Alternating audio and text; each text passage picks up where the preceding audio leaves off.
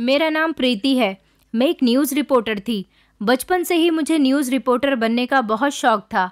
जब मैं टीवी में न्यूज़ रिपोर्टर्स को देखती तो बहुत खुश होती थी, क्योंकि मीडिया में काम करने वाले लोगों को समाज की अच्छी जानकारी होती है। बंगाल की जेल में 22 साल कैद की सज़ा पाने वाली औरत ने अपनी सज़ा के समय जब वो कैद थी तो उसने 12 साल बाद दो बच्चों को जन्म दिया। बच्चों के पिता का पता लगाने के लिए जब उनके डीएनए टेस्ट करवाए गए तो सबके होश उड़ गए थे। इन दोनों बच्चों का पिता कोई एक नहीं, बल्कि दो लोग थे, और ना ही ये दोनों बच्चे जुड़वा थे। दोनों ही अलग शक्ल के, और दोनों के डीएनए भी अलग अलग थे। जज साहब की आवाज़ अदालत के कमरे में गूंज रही थी। वो नीतू गुप्ता से कह रहे थे कि आपने अपना जुर्म कबूल कर लिया है? क्या आप इस बात को एक्सेप्ट करती हो कि ये मर्डर आपने ही किया है? उसने धीरे से हाँ में सिर हिला दिया था। जज साहब की आवाज़ दोबारा से गूंजी थी। उन्होंने कहा कि आपको ये शब्द अपने मुँह से निकालने होंगे। आपको अपना जुर्म अपने मुँह से कबूल करना होगा। उसने एक नज़र अदालत के कमरे में बैठे हुए लोगों पर डाली थी, जिसमें बहुत से चेहरे जाने पहचाने थे, जो इस समय उसे नफरत और दुश्मन की नज़रों से देख रहे थे। वहाँ पर कुछ ऐसे भी लोग थे, जो उसे मासूम समझ रहे थे, उस पर तरस खा रहे थे। मगर कोई भी उसके दिल का हाल नहीं जानता था। वहाँ पर बैठा हुआ कोई भी इंसान ऐसा नहीं था जो उसकी तरफदारी में बोल सके। फिर उसने धीरे से अपनी नज़र जज साहब पर डाली और धीरे से कहा कि, जी हाँ मैंने अपना जुर्म कबूल कर लिया है। ये मर्डर मैंने ही किया है। सामने बैठे हुए वकील के चेहरे पर मुस्कुराहट आ गई थी। जैसे वो कोई बहुत बड़ी जंग जीत गया हो। वो जंग ही तो जीत गया था। उसने नीतू गुप्ता को आरोपी साबित कर दिया था।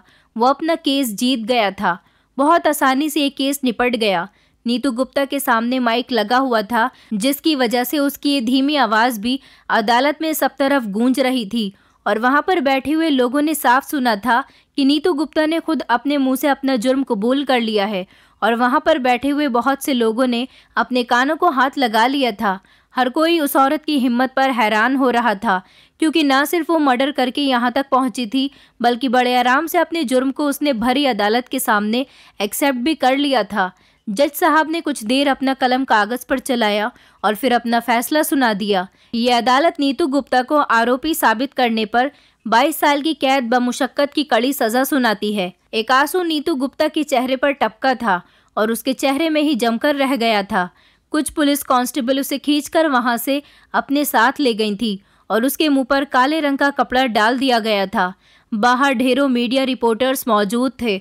बहुत सारी पब्लिक भी थी, क्योंकि केस बंगाल का सबसे बड़ा और फ़ेमस केस था। क्योंकि वो जिस इंसान की पत्नी थी, वो इंसान कोई मामूली इंसान नहीं था। वो एक बहुत बड़ा पॉलिटिकल नेता था और हज़ारों लोग उसके आगे पीछे घूमते थे। पूरा शहर उसको अच्छी तरह से जानता था।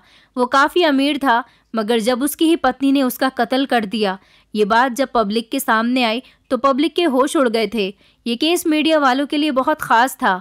पुलिस वालों ने नीतू गुप्ता को कहीं पर भी रुकने नहीं दिया था, बल्कि सीधा कैदियों वाली गाड़ी में बिठा दिया था। उसके मुँह से कपड़ा हटाया गया तो उसने गहरी सांस ली थी। बीस साल की उम्र में वो बाईस साल कैद की सज़ा पाकर जेल की सलाखों के पीछे जाने वाली थी। उसके चेहरे पर ना तो कोई पछतावा था और ना ही कोई उम्मीद। इतने कड़े समय में उसकी आँखों में आँसू भी नहीं दिख रहे थे। ना ही भागने का कोई इरादा था और ना ही ज़िंदगी की कोई जुस्तजू। ऐसा इसलिए था क्योंकि उसके लिए तो सब कुछ खत्म हो चुका था। अब बस उसे वो साँसें गिननी थी जो भगवान ने उसके लिए लिख दी थी। अपनी ज़िंदगी को गुजारने के लिए जैसे ही वो जेल के दरवाजे पर पहुँची तो एक रिपोर्टर उसकी तरफ़ तेज़ी से बढ़ी थी और उसे रोक लिया था। वो रिपोर्टर कोई और नहीं बल्कि मैं थी। मैं काफ़ी देर से नीतू गुप्ता के बाहर आने का इंतज़ार कर रही थी। मैंने फ़ौरन ही माइक उसकी तरफ़ बढ़ाया और उससे बात करनी चाहिए थी, लेकिन पुलिस वालों को सख्त मना किया गया था कि नीतू गुप्ता का कोई भी इंटरव्यू मीडिया पर नहीं आना चाहिए, हर कोई जानना चाहता था। लेकिन ये मैटर ख़त्म हो गया और नीतू गुप्ता ज़्यादा दिन सुर्खियों में न रह सकी, क्योंकि उसने जल्दी ही अपने आरोप को एक्सेप्ट कर लिया था। अगर वो कुछ दिन झूठ बोलती या उसके खिलाफ कुछ और चश्मदीद गवाह खड़े होते तो ये केस कुछ दिन बढ़ सकता था।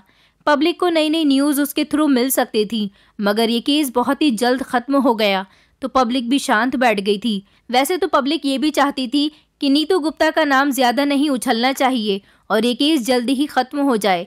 इसलिए नीतू गुप्ता का इंटरव्यू नहीं लेने दिया गया था, लेकिन मैं थी कि नीतू गुप्ता के पीछे चलते चलते सिर्फ़ एक ही सवाल कर रही थी कि क्या आपने किसी दबाव में आकर अपना जुर्म कबूल किया है या फिर आपको किसी ने मजबूर किया है?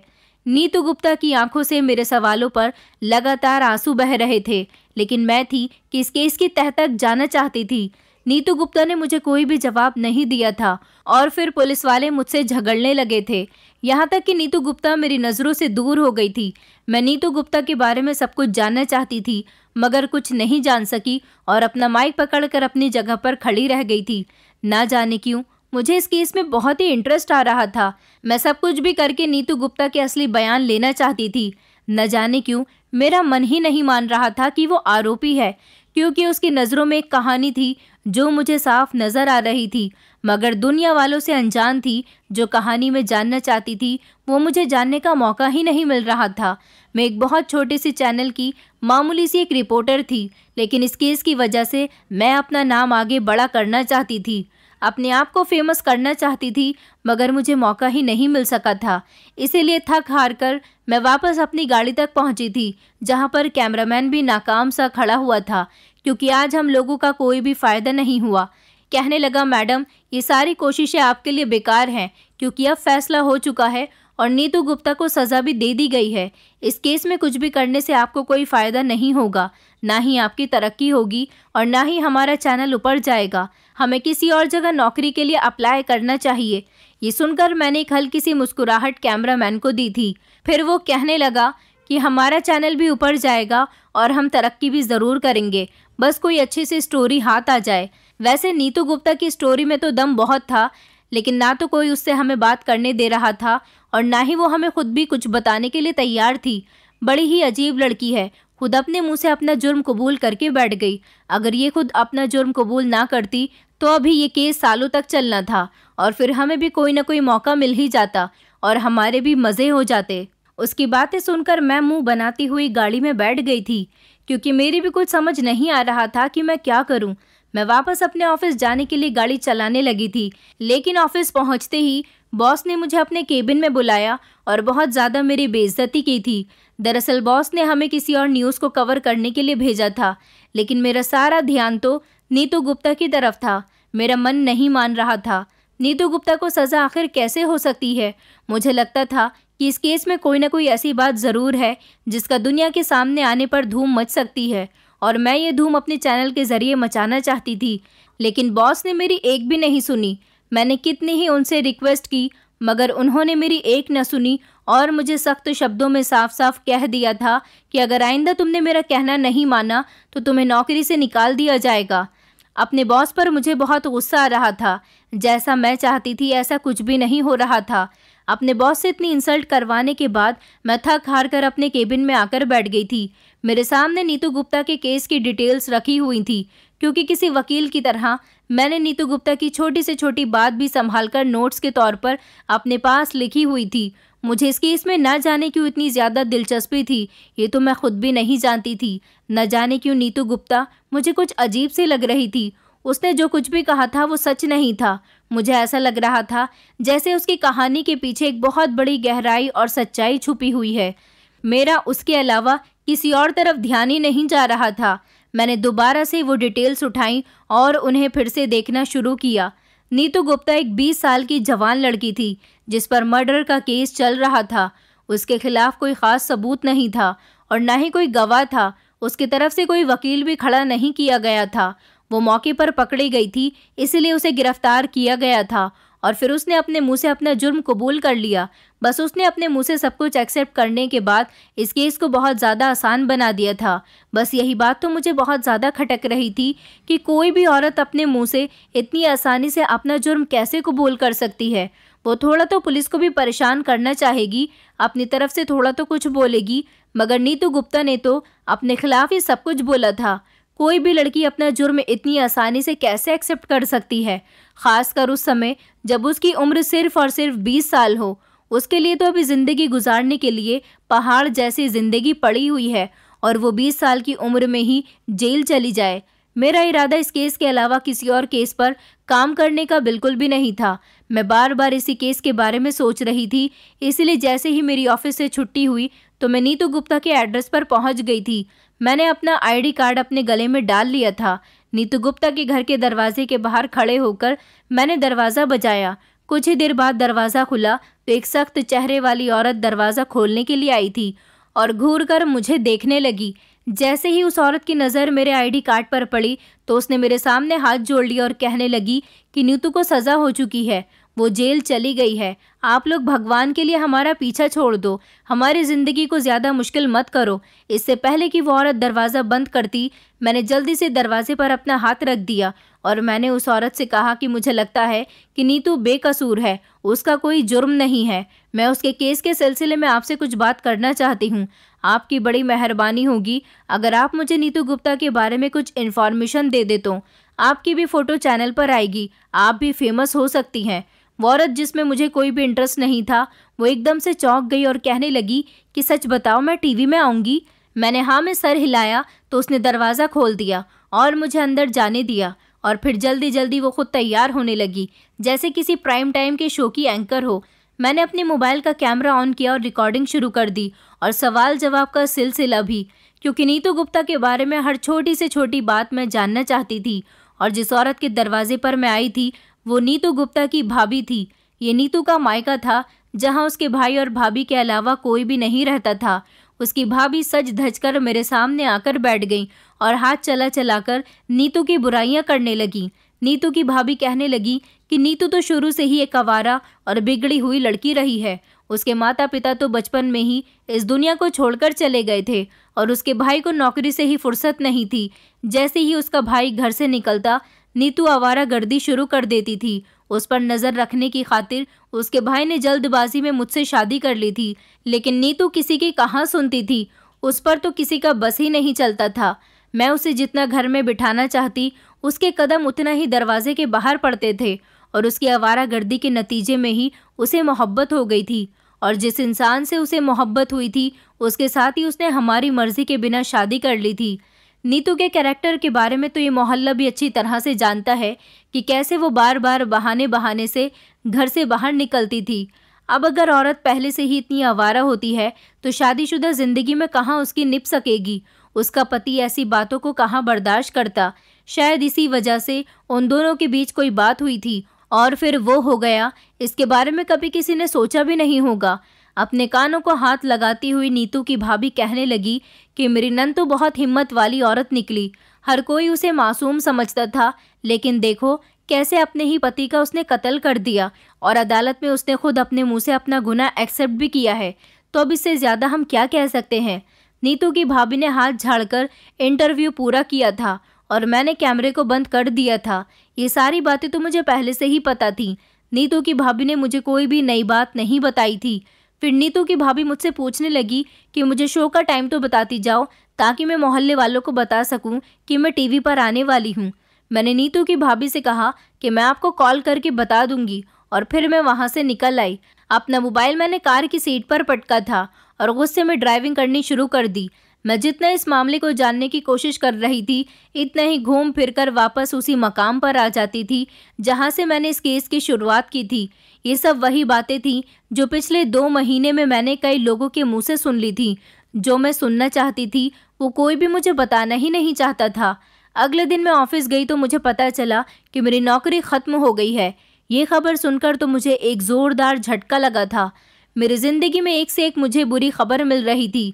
दरअसल जिस न्यूज़ को कवर करने के लिए मुझे भेजा गया था, दूसरे चैनल ने उसी न्यूज़ को बड़े अच्छे तरीके से ब्रेक किया था।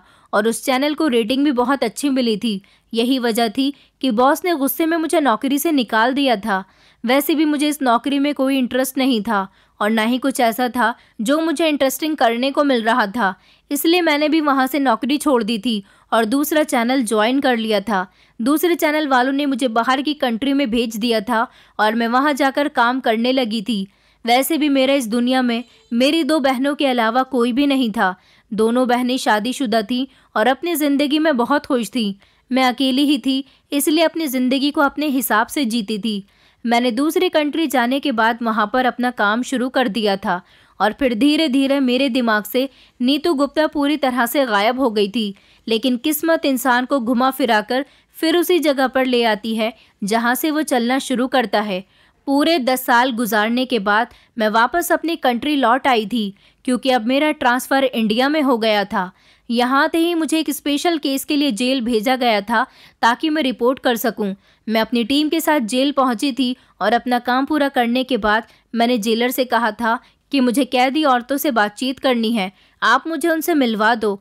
मैं हमेशा अपने काम से फ्री होने के बाद भी कुछ इन्फॉर्मेशन जमा कर लिया करती थी। यही वजह थी कि इन दस सालों में मैं न सिर्फ़ बहुत कामयाब हो चुकी थी, बल्कि अब अपने एक प्राइम टाइम शो कर रही थी और हर कोई मेरे काम से बहुत ज़्यादा इम्प्रेस था। मेरे कहने पर जेलर मुझे लेकर जेल में घूमने लगा। मैं रुक रुक कर हर औरत से थोड़ी थोड़ी बातचीत कर रही थी। फिर मेरी नज़र अचानक एक ऐसी औरत पर पड़ी थी, जो एक कोने में बिल्कुल खामोश सी बैठी हुई थी। उसे देखकर मुझे याद आया था कि वो कौन है, क्योंकि दस साल बाद भी इस औरत को मैं भूल नहीं पाई थी। उसके बिखरे बिखरे बाल कंधों तक आ रहे थे। चेहरे पर जमाने भर की थकन थी। बेबसी की तस्वीर बनी हुई वो औरत मुझे पूरी तरह से हिलाकर रह गई थी। मैंने ऐसा कभी भी नहीं सोचा था कि पूरे दस साल बाद भी ये औरत दोबारा मुझे मिल सकती है। वो नीतू गुप्ता थी, जो एक कोने में गुमसुम सी बैठी हुई थी। उसकी कंडीशन बहुत ज़्यादा ख़राब थी। मुझे उसे देखकर बहुत तरस आ रहा था। मैंने जेलर से फ़ौरन ही पूछा कि ये नीतू गुप्ता ही है ना, जो पॉलिटिकल नेता राजीव गुप्ता के कत्ल के इल्ज़ाम में यहाँ आई थी। जेलर कहने लगा हाँ ये वही है। अब तो ये दो बच्चों की माँ भी है। नौ साल पहले इस जेल में ही इसने दो बच्चों को जन्म दिया था। अगर आज भी इससे कोई पूछता है तो ये बड़ी सच्चाई से कहती है कि इसने ही अपने पति को मारा था। मैंने जेलर साहब से कुछ समय मांगा था, ताकि मैं अकेले में नीतू से कुछ बातचीत कर सकूँ। आज पूरे दस साल बाद मेरे पास नीतू से बात करने का एक अच्छा मौका था। जेलर उसके सेल का ताला खोलकर वहाँ से चला गया था और मैं नीतू के सेल में जाकर उसके सामने बैठ गई। नीतू ने एक भरपूर नज़र मेरी तरफ़ देखा था और फिर कुछ ही देर के बाद उसकी आँखों में एक अजीब सी चमक उभर आई थी।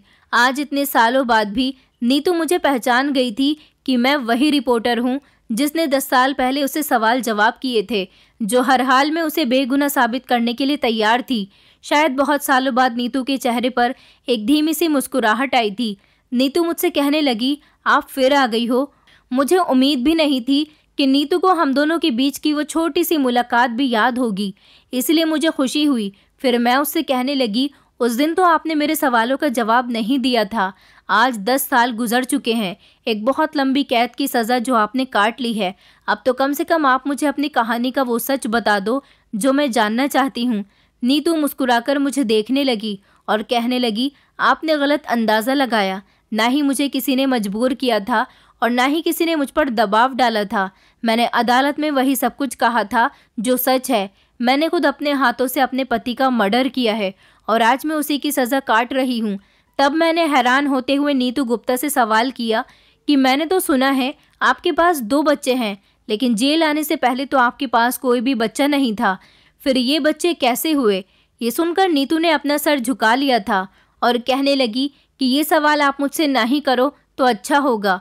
वैसे भी बच्चों के जन्म के बाद उन्हें यहाँ मेरे साथ नहीं छोड़ा गया, बल्कि वो चाइल्ड प्रोटेक्शन ब्यूरो के पास है। जब जेल से रिहा हो जाऊँगी, तब उन्हें मेरे हवाले कर दिया जाएगा। तब तक न जाने वो मुझसे कितनी नफरत करने लगेंगे। शायद वो बच्चे मेरी शक्ल भी देखना पसंद ना करें। नीतू की आँखों में नमी उतर आई थी, और यही बात मुझे बहुत ज़्यादा परेशान कर रही थी कि एक औरत जो खाली दामन इस जेल में आई थी, वो दो बच्चों की माँ कैसे बन गई थी। मैं कहने लगी कि मैं आपसे आपकी कहानी जानना चाहती हूँ, लेकिन नीतू ने यह कहकर मुझे इनकार कर दिया था कि किसी दूसरे इंसान में सिर्फ़ उसी समय तक इंटरेस्ट होता है, जब तक वो पूरी तरह उसकी खोज न कर ले। उसके बारे में हर इन्फॉर्मेशन इकट्ठी न कर ले। आप भी जब मेरे बारे में सब कुछ जान जाओगी तो आपका इंटरेस्ट भी ख़त्म हो जाएगा। फिर आप पलटकर कभी मेरी तरफ़ नहीं देखोगी, जबकि मैं चाहती हूँ कि आपका और मेरा ये अनजाना सा रिश्ता कायम रहे। इसलिए मेरी कहानी को राज ही रहने दो। मेरे बहुत पूछने पर भी नीतू मेरे हर सवाल पर खामोश रही थी और फिर मैं निराश होकर वापस आ गई थी। लेकिन अब मैं इस बात को रास नहीं छोड़ सकती थी। मुझे जानना था कि आखिर इस औरत के साथ हुआ क्या था, क्योंकि इस औरत की आँखों में जो मासूमियत थी, वो मुझे बार बार झंझोड़ कर रख दिया करती थी। मैंने जेलर से कहा कि मुझे नीतू के केस की फ़ाइल चाहिए तो जेलर ने साफ़ इनकार कर दिया। लेकिन फिर मेरे कुछ ताल्लुकात काम आए और मुझे जैसे तैसे नीतू की फ़ाइल मिल गई थी। आखिरकार दस साल तक मैंने मेहनत की थी और अपना कैरियर बना लिया था। इसके बाद मैंने कई बार नीतू से मुलाकात की और उसे यकीन दिलाया कि अगर वो अपने हिस्से का सच मुझे बता देगी तो मैं उसे यहाँ से आज़ादी ज़रूर दिलवाऊँगी। लेकिन उसे मेरी बात पर यकीन नहीं आ रहा था। मेरे कई बार ऐसा ही कहने पर नीतू मुझ पर हैरान होती थी कि सारी दुनिया उसे गुनाहगार समझती है। उसने खुद अपना जुर्म कबूल कर लिया है। तो फिर मुझे कैसे यकीन है कि मैं बेकसूर हूँ? और फिर पूरे तीन महीने बाद मेरी ज़िंदगी में वो दिन भी आ गया था, जब मुझे ये सच्चाई पता चल गई थी, क्योंकि उस दिन नीतू को मैंने उसकी कहानी सुनाने के लिए राज़ी कर लिया था। नीतू की फाइल्स में लिखा हुआ था कि जेल में लाते ही उसके सारे टेस्ट किए गए थे, और जिसमें पता चला था कि वो प्रेग्नेंट है, और फिर पूरे नौ महीने के बाद उसने दो बेटों को जन्म दिया था। वो दोनों बच्चे चाइल्ड प्रोटेक्शन ब्यूरो के पास हैं, और जब तक नीतू की सज़ा ख़त्म नहीं हो जाती, तब तक वो वहीं पर ही रहेगी। अब इस बात का खुलासा तो नीतू ही कर सकती थी कि इस बात में कितना सच था और कितना झूठ, क्योंकि जेल की अंधेरी दुनिया में वो सब कुछ भी मुमकिन था, जिसके बारे में सोचना भी मुमकिन नहीं था। और वहाँ इस अंधेरी दुनिया के लगभग हर राज को मैं ही जानती थी, जिस केस की वजह से मैं अपना करियर बनाना चाहती थी। इस केस के बारे में मुझे उस समय पता चलना था, जब मैं अपने करियर की ऊंचाई पर पहुँच गई थी। ये दस साल मैंने बहुत मेहनत से गुजारे थे, लेकिन इन दस सालों में नीतू पर क्या बीती थी, ये तो वही बता सकती थी। मेरा क्या था, मैं तो दूसरी कंट्री में अपना करियर बना रही थी, मगर उस बेचारी पर ना जाने कितने जुल्म हुए थे। मुझे नीतू से बहुत हमदर्दी थी, और मैं उससे यह हमदर्दी जताना चाहती थी, मगर उसने मुझे अपना सच बताने में बहुत समय लगा दिया था। हम दोनों आमने सामने बैठे हुए थे। मैंने जेलर से कुछ घंटों का लंबा समय मांग लिया था, ताकि फुर्सत से हम दोनों एक दूसरे से सवाल जवाब कर सकें। नीतू अपनी कहानी बताने से पहले कुछ घबरा रही थी। मैंने उसे तसल्ली दी कि उसे घबराने की या डरने की बिल्कुल भी ज़रूरत नहीं है। जो भी सच है वो मुझे बता दे। मैं उसका पूरा पूरा साथ देने के लिए तैयार हूँ। मैं उन लोगों में से नहीं हूँ जो उसको बदनाम करूँ या फिर उसको और ज़्यादा किसी मुश्किल में फंसा दूँ। बदनाम तो वो पहले ही हो चुकी थी, मगर मैं उसका सच दुनिया के सामने लाना चाहती थी। मैं जानती थी कि वो बेगुनाह है। मैं उसे आज़ाद करवाना चाहती थी। मेरी बातों पर उसे यकीन आ गया था। फिर नीतू गुप्ता ने मुझे अपनी कहानी सुनानी शुरू की। मेरा नाम नीतू गुप्ता है। मैं गरीब फैमिली से बिलोंग करती थी। मैंने अपनी आँख आम नॉर्मल से परिवारों की तरह, एक नॉर्मल परिवार में खोली थी। आम लोगों के घरों की तरह, हमारे घर में भी बेटों को ज़्यादा अहमियत दी जाती थी और बेटियों को बोझ समझा जाता था। मतलब कि मेरा भाई हमारे माता पिता की आँखों का तारा था।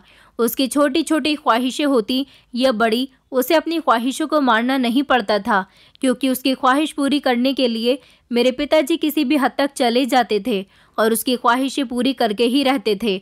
हालाँकि मैं एक बेटी थी, इसलिए हर बार मैंने ही कुर्बानी दी थी और इस बात पर मुझे कभी कोई एतराज़ भी नहीं हुआ था, क्योंकि मुझे भी अपने भाई से बहुत मोहब्बत थी। धीरे धीरे समय गुजरता चला गया और हम बड़े होते चले गए। मेरे बड़े भाई अपने दोस्तों के साथ आवारागर्दी करते रहते थे और मैं घर गृहस्थी में लगी रहती थी। मैं अपनी माँ के जिगर का टुकड़ा बन गई थी। हमारी ज़िंदगी में वो समय आ गया जो भगवान किसी को भी नहीं दिखाए। मेरी माँ एक रात खामोशी से हमें इस दुनिया से छोड़कर चली गई। उनको आधी रात के समय हार्ट अटैक आया और उनकी अचानक मौत हो गई थी, जिसके बारे में हमें पता नहीं चल सका। माँ का ना होना क्या होता है, उस दिन मुझे समझ आया था।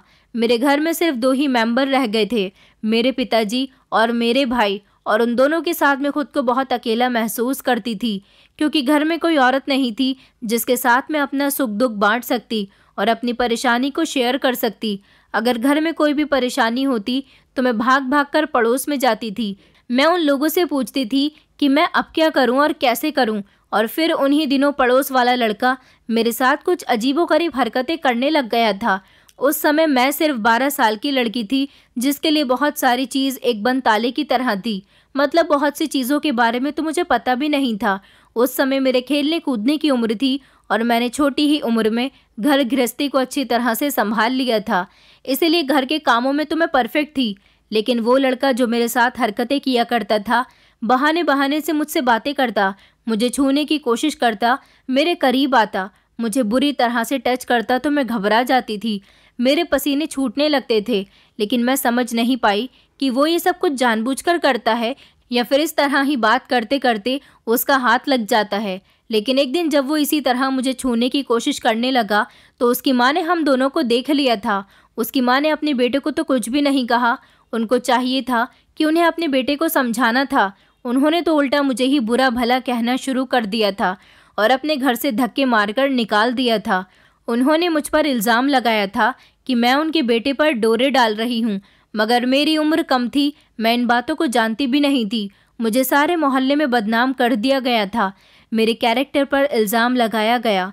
ये कहा गया कि मैं उनके बेटे को बहकाना चाहती थी। मोहल्ले वालों ने जो सुना, उन्होंने भी उसी पर ही यकीन कर लिया। यहाँ तक कि मेरे भैया ने भी लोगों की बातों पर यकीन कर लिया था। उस दिन भैया ने मेरे साथ बहुत मारपीट की थी। मेरा तो कोई कसूर भी नहीं था, लेकिन फिर भी मैं अपने भैया से पिटकर सारी रात रोती रही थी। फिर मैंने पड़ोस में जाना छोड़ दिया था।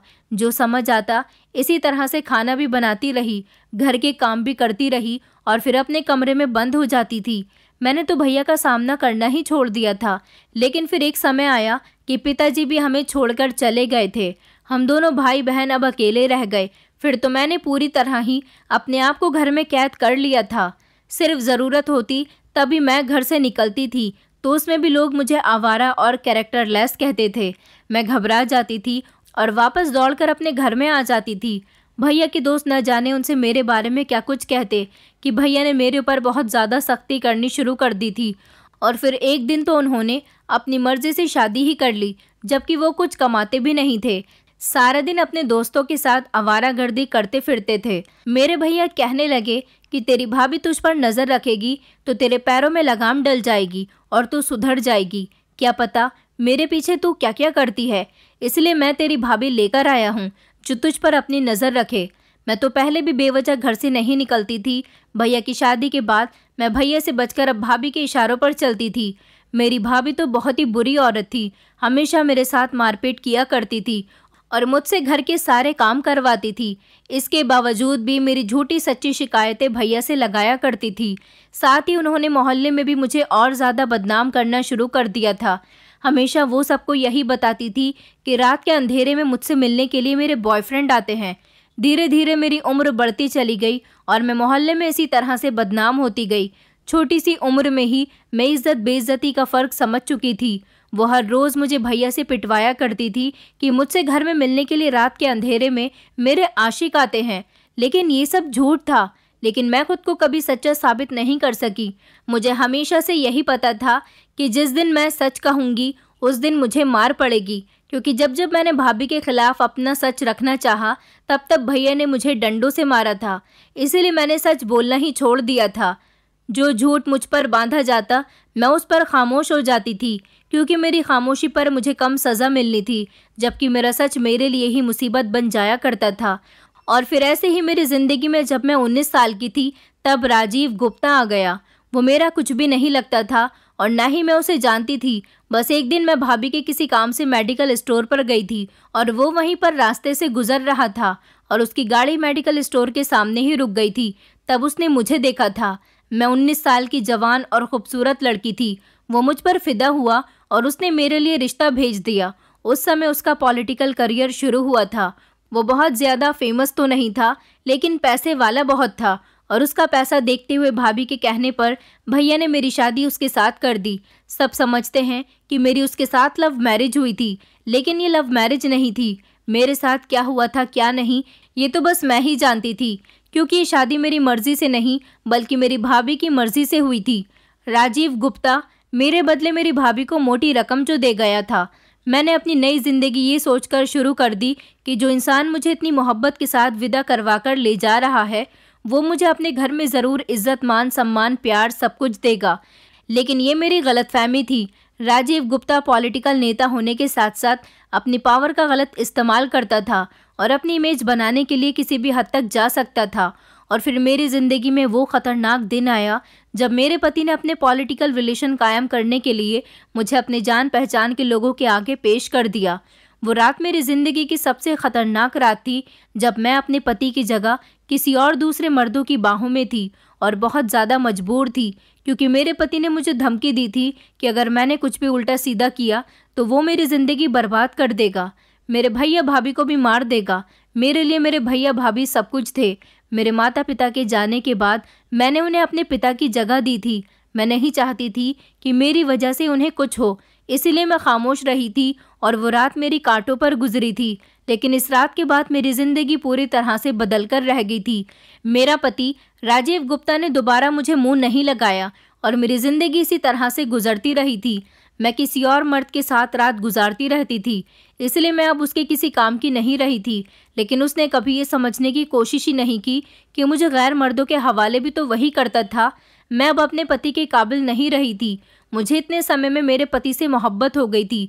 मैं उससे हर समय उसका साथ मांगती थी, उससे कहती थी कि तुमने खुद तो मुझे दूसरे मर्दों के आगे फेंका था, फिर क्यों मुझसे मुँह फेरते हो? लेकिन राजीव गुप्ता को अपनी मर्दानगी पर बहुत घमंड था। वो कहता था कि मैं किसी और की इस्तेमाल की हुई औरत को देखना भी पसंद नहीं करता, और फिर मैं अपनी ज़िंदगी में बिल्कुल अकेली हो गई। हर समय कमरे में बंद रहती थी और मेरा पति मुझे अपनी जान पहचान वालों के सामने इस्तेमाल करने के लिए छोड़ देता था। वो मुझे तैयार करवाकर मुझे लॉन्ग ड्राइव पर ले जाने के बहाने दूसरे आदमियों के हवाले रात गुजारने के लिए छोड़ देता और बस मैं इन सब तकलीफ़ों को बर्दाश्त कर रही थी। मेरी ज़िंदगी किसी तरह से गुजर रही थी और मैं अपनी ज़िंदगी से बहुत तंग आ गई थी। लेकिन फिर एक रात मेरे पति ने मेरे साथ दरिंदगी की हद पार कर दी थी।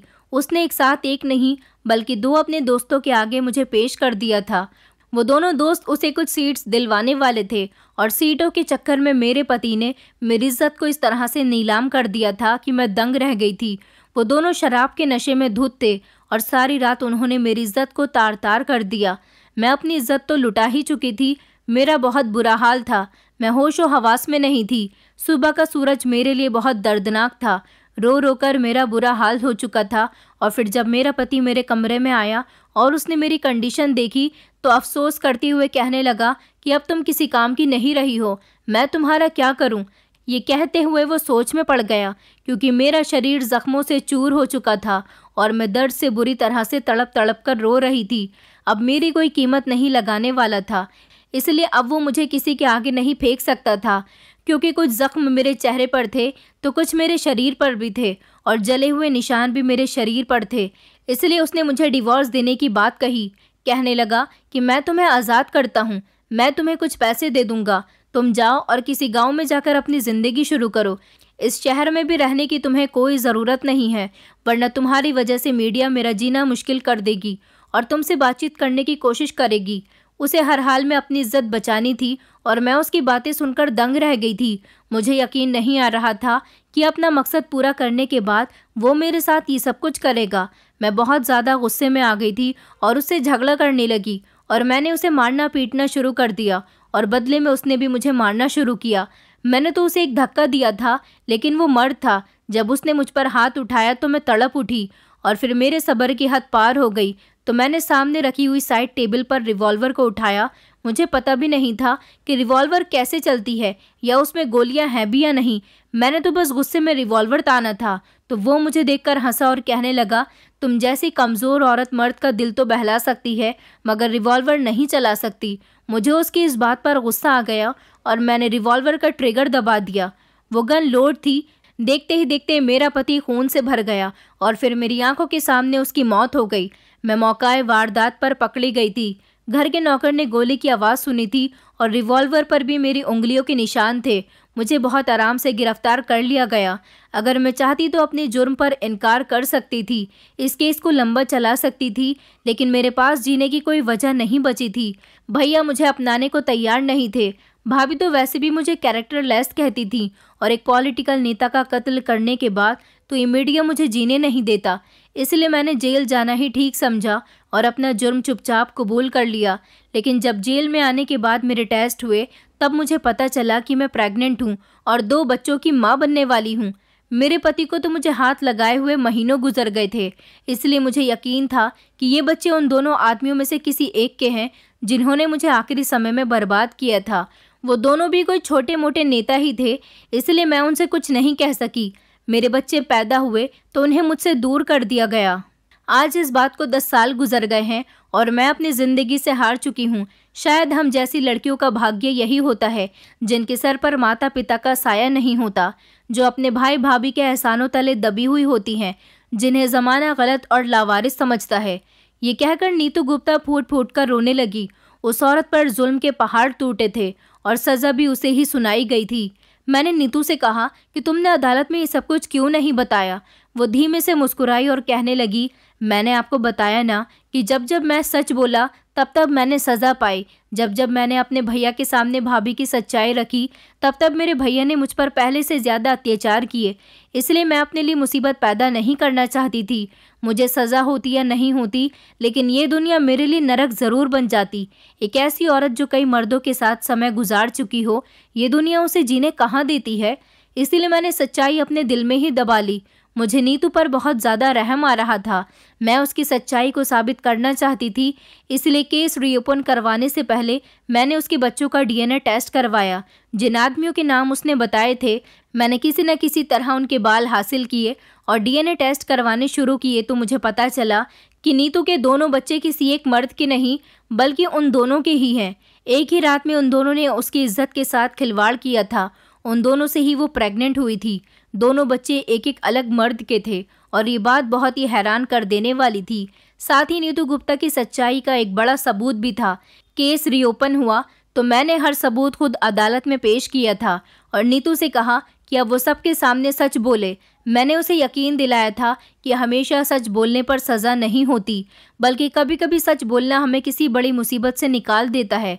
लगभग छः महीने नीतू का केस चला था। मीडिया पर धूम मच गई थी। मैंने पूरी तरह से सपोर्ट किया था और फिर वो दिन भी आ गया था जब नीतू को ये कहकर बाइज्जत बरी कर दिया गया था कि उसने अपने पति का मर्डर सेल्फ डिफेंस में किया था। अपनी इज़्ज़त को बचाने के लिए नीतू जेल की सलाखों से बाहर आई। मैंने उसे अपने ही घर में जगह दी हुई है। उसके बच्चे उसे वापस मिल गए। उन दोनों आदमियों को भी मैंने सज़ा दिलवाई। जिन्होंने नीतू की इज़्ज़त के साथ खिलवाड़ किया था। लेकिन कब तक ये ज़माना इस तरह औरतों पर अत्याचार करता रहेगा? कब तक नीतू जैसी औरतें जुल्म की चक्की में पिसती रहेंगी? और कब तक ये सियासत वाले लोग अपनी हवस पूरी करने के लिए मासूम औरतों का शिकार करते रहेंगे? कोई क्यों इन ताकतवर लोगों को सज़ा नहीं देता? कोई क्यों इनके खिलाफ आवाज़ नहीं उठाता? हमारा कानून इतना कमज़ोर क्यों है? ऐसे लोगों को सज़ा देते हुए क्यों डरता है? ये सवाल मैं आप लोगों से पूछती हूँ कि क्या हमेशा सच बोलने वालों को ही सज़ा मिलती है? क्या हमारे समाज में सच बोलना इतना बड़ा गुना है कि नीतू ने कितने सालों तक ये सोचकर सच नहीं कहा कि उसे दुगनी सज़ा मिलेगी? आप लोग भी जुल्म के खिलाफ आवाज़ उठाइए ताकि उन औरतों को इंसाफ मिल सके जो इस समाज की सताई हुई हैं। दोस्तों, उम्मीद करती हूँ आपको हमारी कहानी पसंद आई होगी।